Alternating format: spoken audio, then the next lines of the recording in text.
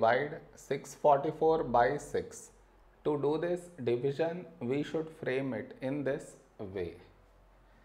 644 here and 6 here. This is your step 1. Next. Here we have 6 and 6 here. When do we get 6 in 6 table? 6 ones 6. Now we should subtract we get 0. After this bring down the beside number so 4 down. Now here we have 4 and 6 here. 4 is smaller than 6.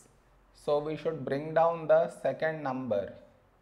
And the rule to bring down second number is we should put 0 here. Then only we can bring this number down. Now 44. A number close to 44 in 6 table is 6 sevens 42 now we should subtract. We get 2 no more numbers to bring it down so we stop here. This is our remainder and this is our quotient